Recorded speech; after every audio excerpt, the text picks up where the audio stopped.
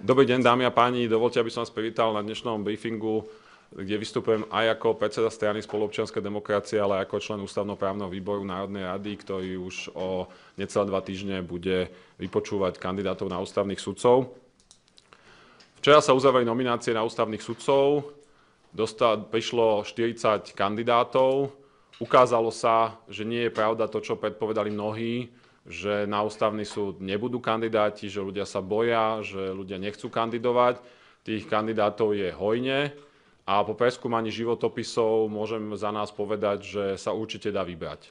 Z týchto 40 mien je určite možné vybrať 18 priateľných kandidátov a ak sa prezident republiky zhostí svojej úlohy, tak z nich môže vybrať dokonca, myslím si, že 9 vysoko nadštandardných ústavných sudcov na slovenské pomery. Takže je z čoho vyberať. Má z čoho vyberať parlament a ak parlament dobre zvolí, bude mať z čoho vyberať aj prezident republiky. Čo nám však hrozí po včerajšku, je, že namiesto debaty o kvalite jednotlivých kandidátov, o tom, kto je nielen dobrý právnik, ale aj svojim životom ukázal, že rozumie hodnotám, že sa to mení na zápas o spravodlivosť a o to, či aj ústavný súd sa stane ďalšou politickou trafikou. Uh, niektorí si určite pamätáte, ako v roku 2007, keď musel jeden popredný úradník odstúpiť pre korupčné škandály pre Ficovej vláde, tak vtedajšia pani ministerka Tomanová bola zachytená na mikrofón, ako hovorí premiérovi Ficovi vtedajšiemu, že či by mu nemohol nejaké teplé miesto v Bruseli teda uh, vybaviť uh, za odmenu, že odstúpil. No a my už dnes vieme, že táto koalícia si míli s teplým miestom už nie len miesta v Bruseli, ale dokonca aj tak významné a odborné miesta, ako sú miesta na ústavnom súde. Vidíme to podľa nominácie Roberta Fica, ale vidíme to aj podľa nominácie ďalších koaličných politikov na toto miesto, kde jednoducho je napríklad medzi nominantkami koalície na toto miesto aj osoba, ktorá je obviňovaná viacerými ľuďmi z korupcie a nikdy nedokázala tieto obvinenia vyvrátiť a ktorá navyše je už dlhodobo politicky angažovaná v strane alebo v spolupráci so stranou Smer. A takto by sa dalo pokračovať. Ústavný súd sa však podľa nášho názoru nesmie stať politickou trafikou, nesmie sa stať miestom, kde síce ktorý vyrieši všetky problémy Roberta Fica, môže sa, má sa, bude sa mať kam presťahovať, bude môcť odísť nenávidenej Bratislavy. Toto všetko bude pre neho určite len príjemné, ale my to nemôžeme prijať. A ten dôvod je jednoduchý. Nie je ním nenávisť k Robertovi Ficovi, ale je to fakt, že ak Robert Fico a mu podobný ovládnu ústavný súd, tak právny štát na Slovensku nenastolíme ešte ďalších 12 rokov. Všetky významné právne a súdne spory na Slovensku nakoniec skončia na ústavnom súde, alebo existuje spôsob, ako sa ústavný súd do nich môže vložiť. Ak teda väčšina ústavného súdu, prípadne na čo s predsedom ústavného súdu Robertom Ficom, bude odhodlaná chrániť ďalej papalášku imunitu strany Smer, Slovenskej národnej strany a všetkých skorumpovaných a sprofanovaných politikov, tak ďalších 12 rokov to budú môcť robiť, aj keď si Slovensko rok zvolí inú vládu, aj keď si Slovensko zvolí novú garnitúru, ktorá prinesie do prokurátory a polície čerstvý vietor. Túto papalašku imunitu, o ktorú najviac Robertovi Ficovi ide, mu nesmieme dať a nesmieme ju dopustiť. Ústavný súd je totiž na to, aby chránil základné práva slovenských občanov aj na to, aby chránil právny štát a tieto funkcie by s Robertom Ficom a jemu podobnými určite chrániť nemohol. Ja som veľmi rád, že aj prezident Kiska sa už v minulosti vyjadril, že Roberta Fica za ústavného sudcu nevymenuje. E, som rád, že Robert Mistry, ktorého podporujeme na prezidenta Slovenskej republiky, sa vyjadril, že ak by to bol na ňom, tak tiež určite pána Fica nevymenuje.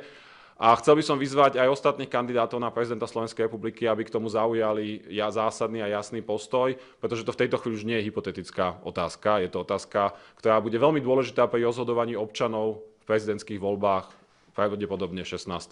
marca. Zároveň chcem zdôrazniť, že keďže máme tých 40 kandidátov, je medzi nimi veľa veľmi kvalitných právnikov a veľa priateľných kandidátov, neexistuje už dneska žiadny dôvod na obštrukcie. Dôvod chrániaci verejný záujem tu nie je. Jediný dôvod robiť obštrukcie, nezvoliť kandidátov alebo nezvoliť všetkých kandidátov by bola ochrana politickej trafiky pre Roberta Fica. Preto každý, kto bude podporovať takéto obštrukcie, nekoná v záujme občanov Slovenskej republiky, nekoná v záujme fungovania ústavných inštitúcií, ale koná len v záujme Roberta Fica. Aj Bela Bugara a Andrej Danko by mali k tomuto zaujať jasný postoj a najmä mali zaujať jasný postoj k spôsobu voľby. O čom sa ešte nehovorí je, že podľa ústavy a rokovacieho poriadku Národnej rady je voľba ústavných sudcov verejná, pokiaľ parlamentná väčšina nerozhodne inak. To znamená, že musí sa nájsť 76 poslancov, ktorí rozhodnú, že to bude tajná voľba, inak tá voľba bude verejná. Ja chcem mene strany spolu vyzvať k verejnej voľbe. Chcem, aby sme máme právo vedieť a občania majú právo vedieť, kto bude hlasovať napríklad za Roberta Fica na ústavný súd či to budú len poslanci niektorí koalície Smeru, či to budú aj niektorí poslanci opozície. Majú to ľudia právo vedieť a každý, kto bude hlasovať za tajnú voľbu, bude zároveň hlasovať za voľbu Roberta Fica na ústavný súd. To si povedzme otvorene. Preto chcem poprosiť naozaj aj Belu Bugára, aj Andrea Danka, ale aj ostatných predsedov politických strán, aby sa jasne vyjadrili k verejnosti voľby, pretože na tom uvidíme úprimnosť ich vzťahu aj k voľbe Roberta Fica. V opačnom prípade je naozaj na nich to, že Robert Fico môže sa dostať až na najvyššie miesto slovenskej ústavnosti. Toľko z mojej strany. My sme za spolu pripravení rokovať aj so zvyškom opozície, ale aj s koalíciou, s kýmkoľvek o voľbe kvalitných kandidátov. Je podľa nášho názoru z čoho si vybrať. Myslíme si, že to poradie by malo byť také, že najprv by mal zasadnúť ústavnoprávny výbor, čo je plánované zhruba o dva týždne. Mali by sme všetkých kandidátov vypočuť, položiť im otázky, urobiť si obraz a na základe toho potom my sme pripravení na rokovania o tom, že ktorí kandidáti sú vhodní a koho treba podpojiť, pretože toto je otázka aj osobných kvalít, ale je to aj otázka politická. Ústavný súd potrebuje väčšinu, ktorá najbližších 12 rokov ochráni našu ústavnosť aj v pomene turbulentných časoch, ktoré nás môžu čakať. Ďakujem a teraz je priestor pre vaše otázky. Dobrý deň, Lenka Ježová teatri. Vy si myslíte, že keďže Robert Fico do toho nakoniec išiel, že môže existovať nejaká dohoda aj s prezidentom? Prezident Andrej Kiska sa viackrát vyjadril v posledných mesiacoch, že by Roberta Fica za ústavného sudcu nevymenoval. Ja pána prezidenta poznám ako človeka, ktorý váži svoje slova, ale keď už raz niečo povie, tak e, to drží. Takže som presvedčený, že taká dohoda neexistuje, ale samozrejme je to otázka na pána Kisku. Ja mám dobrý deň, Jana Krestenko, Dybáková televízia. Joj, dve také elementárne otázky. Skúste prosím vás ľuďom jasne vysvetliť, prečo ten Robert Fico podľa vášho názoru nemá ísť na ten ústavný súd, lebo politická trafika je jedna záležitosť, ale pre ľudí toto nie je nejaká blízka téma. Čiže prečo nemá z vášho pohľadu, povedzme, morálny mandát tam ísť? A druhá otázka znie, e, čo sa reálne stane na tom ústavnom súde v prípade, že si predstavíme situáciu, že tam sedí Robert Fico. Ďakujem. Ďakujem pekne.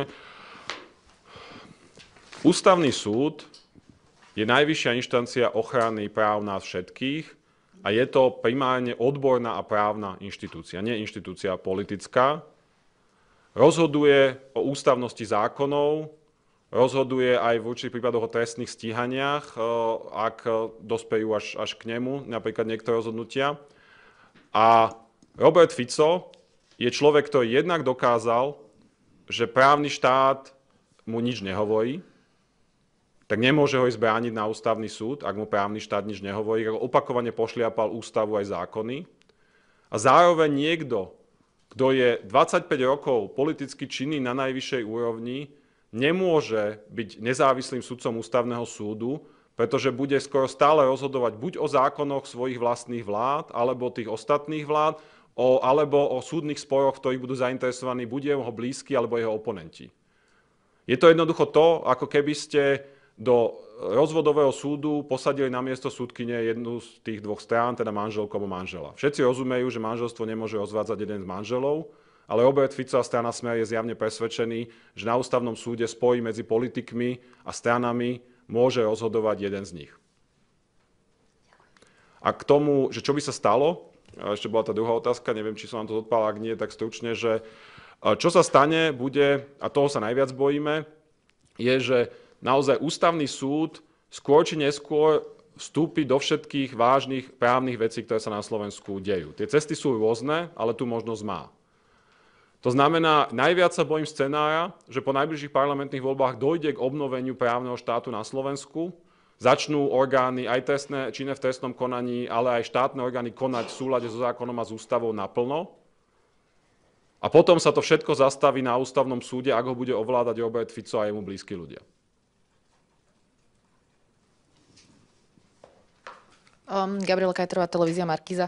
Viete prosím povedať nejaký uh, manuál, podľa ktorého sa dá povedať, kedy je nejaký politik vhodný na tú funkciu, kedy je nevhodný, lebo o pánovi Kresakovi sa hovorí, že je v pohode, o pánovi Ficovi sa hovorí, že není to v pohode, že, že č, prečo? Áno. Je tá hranica. Ja by som povedal jednoduchú hranicu, až na výnimočné prípady, ktoré hneď pomenujem, aktívny politik nemá ísť na ústavný súd. To znamená, že to je veľmi jednoduché pravidlo. A te, Pán Kresak, prepačte, preto hovorím, že až na výnim, dostanem sa k tej výnimke, ale chcem povedať, že až na veľmi výnimočné prípady aktívny politik nemá čo hľadať na ústavnom súde. Výnimka môže nastať podľa môjho prípadu u niekoho, kto je všeobecne uznávaným ústavným právnikom, ktorý sa len dostal na nejaký čas do politiky a zároveň sa v tej politike neprejavoval tak, aby sme mohli mať pochybnosti o jeho schopnosti nestranne vykonávať tento mandát. Pán Kresák je v parlamente 2,5 roka ako radový poslanec strany Most a počas tohto 2,5 roka sa veľmi snažil chovať tak, aby si uchoval, by som povedal, zvoliteľnosť. Myslím aj tú odbornú, aj tú etickú. Napríklad nehlasovaní za niektoré opatrenia vládnej koalície, ak bol presvedčený o ich možnom rozpore s ústavou. To znamená, pán Kresák je síce dnes aktívny politik, ale je to najmä dlhoročný ústavný právnik a ani ako politik sa nechoval tak, aby, aby dával pochybnosti. Napriek tomu on je možno jediná výnimka, ktorú ja si osobne viem predstaviť, musíme o tom diskutovať u nás samozrejme v klube. Ja si z ostatných aktívnych politikov, ktorí sú tam dnes nominovaní, lebo nie je to len pán Fico, neviem predstaviť nikoho, že by mali ísť na ústavný súd, pretože sú naozaj príliš dlho, príliš aktívne a príliš vysoko v politike a spolitizované by dneska mohli robiť ústavných sudcov. Pôvodne na tejto tlačovej konferencii ste uvažovali, že bude aj pani Žitňanská, ktorá nakoniec teda nepotvrdila účasť. Ona včera na Facebooku napísala, že má obavy, že um, takéto politické nominácie môžu odradiť ako keby ľudí, ktorí sú tí odborníci. Máte aj vy taký pocit, že, že to odradí ako keby aj možno aj do budúcnosti? Ak by ústavný súd nebol predmetom týchto politických trafík a špekulácií, myslím si, že namiesto 40 by sme možno mali ešte viac a najmä ešte špičkovejších kandidátov. Takže v tom sme s ním súhlasí, s ňou pardon, súhlasím. Ale ja chcem poďakovať všetkým nepolitickým kandidátom, ktorí sa do tej súťaže prihlásili alebo dali nominovať, pretože ukázali, že napriek tomu, že je presvedčenie o tejto politizácii ústavného súdu, sú ochotní ísť do tej súťaže. A ja chcem naopak oceniť to, že toľko špičkových právnikov napriek tomu sa uchádza, že si máme z čoho vybrať. Môžeme podľa vás automaticky očakávať, že všetci eh, kandidáti s politickým pozadím budú zvolení? O, neviem vám na túto otázku odpovedať. Viem vám povedať, že my kandidátov s politickým pozadím, e, z, alebo teda aktívnych politikov, lebo politické pozadie je veľmi vágný pojem, ale aktívnych politikov my s možnou výnimkou pána Kresaka určite na ústavný súd podporovať nebudeme. E, dobrý deň, Vildová RTVS. E, ja by som... Hovoríte, koho určite nepodporíte, ale už viete aj, koho by ste podporili, keď hovoríte, že je tam dosť odborníkov? Možno nejaké mená? O, my sme si preštudovali tie životopisy, mnoho tých mien je samozrejme známych, niektoré sú známe menej.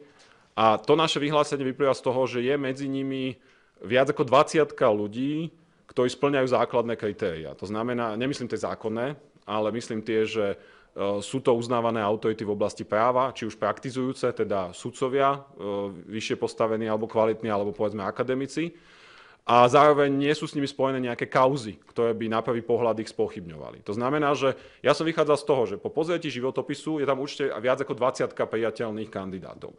Ako z nich vybrať tých 18, ktorých, za ktorých môžeme hlasovať potom, to závisí naozaj od vypočutia na ústavnoprávnom výbore a aj prípadne na tom, čo sa ešte zistí, lebo je možné, že sa o tých kandidátoch, najmä tých menej známych, zistia či už pozitívne alebo negatívne fakty. Takže my ako poslanecký klub budeme určite schopní svoje stanovisko dať až e, po tom vypočutí a po politických rokovaniach. Nie, lebo jednak ani nemám mandát, aby som teraz ja jedno meno povedal, ale čo je dôležitejšie, že naozaj viete, my si musíme vybrať z tých dobrých, tých najlepších. To znamená, že ja keby som dneska niekoho povedal, tak by som prejudikoval, že je lepší než tí všetci ostatní a to podľa mňa nie je správne, treba ich najmä všetkých vypočuť. Pán Beblavý, vy ste v pomerne špecifickej situácii, lebo vás čaká hlasovanie o bývalom e, stranickom šéfovi. Ako teda zahlasujete za pána Procházku? Ako som spomenul, stanoviska k jednotlivým kandidátom, ktorý budeme dávať až po vypočutí, takže vám ho teraz nedám. Poviem len to, že ústavný sudca vždy bol a podľa mňa najmä v tých najbližších 12 rokoch bude predmetom nielen odborných diskusí a tlakov, ale aj predmetom obrovských politických a obchodných a záujmových tlakov. Takže naozaj, ak po budúcich parlamentných voľbách dojde k obnove právneho štátu, tak sa tu budú diať veľké veci v tejto krajine. A preto je v našom rozhodovaní rovnako dôležitý odborný rozmer, ako charakterový rozmer, alebo rozmer integrity. A najmä, či si myslíme, že daný kandidát, že pri ňom nehrozí, že by uh, ustúpil nejakým tlakom, alebo že by bol nejakým spôsobom nepri, neprimerane ovplyvniteľný. Toto budeme zvažovať aj pri Radoslavovi Procházkovi, pretože je jeden zo 40 kandidátov, kde pri všetkých to budeme zvažovať. Prekáža teda jeho morálny profil? Uh, viete, morálny profil je, je niečo, čo je subjektívne. Čo je pre mňa objektívnejšie naozaj to, že či doterajšie pôsobenie tých kandidátov dáva predpoklad, že keď na nich budú vyvíjane veľké tlaky, tak im odolajú a budú konať v súlade s ústavou a so správnym štátom. A to budeme hodnotiť pri každom kandidátovi, pri pánovi Procházkovi a podľa toho sa rozhodneme. Vy teda máte pochybnosti o tom, že pán Procházka by týmto tlakom vedel odolať, lebo pán Beblavý, akože povedzme si pravdu, boli ste s ním v jednej strane, nepotrebujete ho bohovie koľko vypočúvať, aby ste ho spoznali asi. Máte pochybnosti? Myslím, že z mojich slov je jasné, aké mám pochybnosti a to je asi všetko, čo k tomu teraz poviem. Ak nie sú ďalšie otázky, tak vám veľmi pekne ďakujem.